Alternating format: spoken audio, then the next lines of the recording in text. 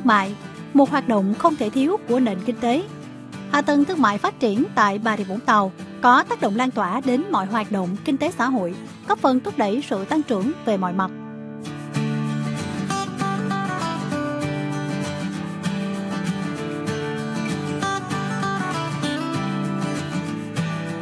Bà Rịa Vũng Tàu là tỉnh năng động nằm trong vùng kinh tế trọng điểm phía Nam.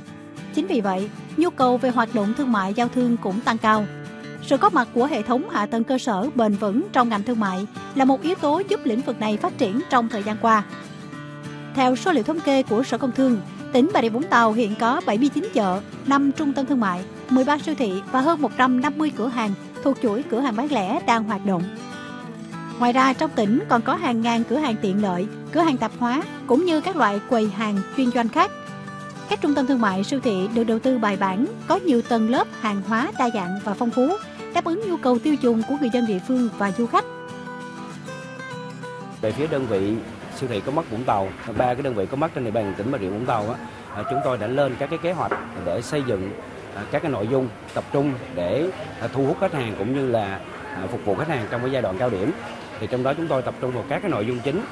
Thứ nhất là tăng cường cái nguồn dự trữ hàng hóa đối với các cái mặt hàng thiết yếu để phục vụ khách hàng, không để đứt gãy các cái chuỗi cung ứng cũng như là biến động về giá cả để phục vụ cho đối tượng người dân và người tiêu dùng. Bên cạnh đó thì chúng tôi cũng đã lên các cái kế hoạch dự trữ cái lượng hàng hóa đối với các cái mặt hàng đặc trưng của ngày Tết gồm bánh, mứt, à, trái cây thì dự kiến của tại đơn vị sẽ tăng từ 10 đến 12% so với cùng kỳ à, 3 tháng cuối năm năm 2023. Ngoài mục đích thương mại, nhiều siêu thị cũng tổ chức không gian hiện đại, đa chức năng, đa tiện ích, thu hút khách hàng đến tham quan mua sắm, các không gian này nâng tầm giao thương cho cả người dân đến mua sắm và cả các doanh nghiệp, đơn vị bày bán sản phẩm hàng hóa. Các doanh nghiệp địa phương cũng đã khẳng định được vị thế của mình khi được đặt sản phẩm trong các siêu thị, trung tâm mua sắm. Và với những hạ tầng thương mại hiện đại đẳng cấp, hàng hóa của doanh nghiệp cũng được nâng cao. Thì chúng tôi đã được ờ, sự hỗ trợ từ ờ, Ủy ban nhân dân tỉnh để kết nối sản phẩm ô cốp của tỉnh vào siêu thị Go thì trong một cái quá trình mà vào đây thì thực ra thì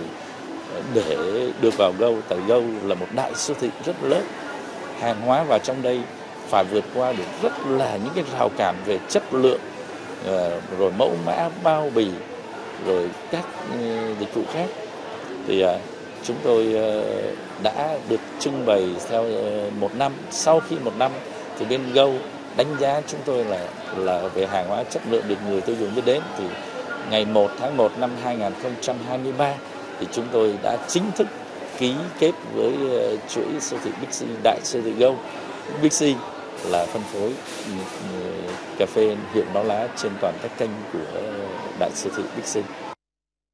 Hệ thống các cửa hàng bán lẻ, cửa hàng tiện lợi có mặt ở nhiều địa điểm, khiến người dân không phải di chuyển nhiều vẫn có thể mua sắm nhanh chóng. Đơn cử như hệ thống Bách Hóa Xanh đã tăng lên trên 50 điểm bán, có mặt ở nhiều huyện thị, thành phố trong tỉnh. Dạ, hiện tại thì Bách Hóa Xanh sẽ giữ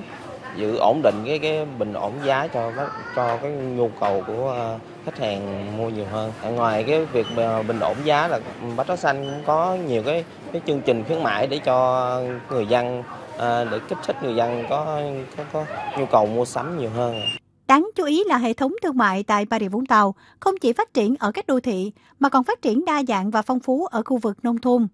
Theo số liệu tổng kết của huyện Châu Đức, toàn huyện có 16 chợ, 5 cửa hàng chuyên dụng và 8 cửa hàng tiện ích tiện lợi.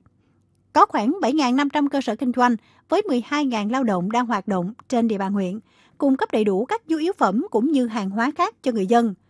các chợ là nơi giao thương sầm uất, luôn được quản lý chặt chẽ để người tiêu dùng an tâm khi đến chợ.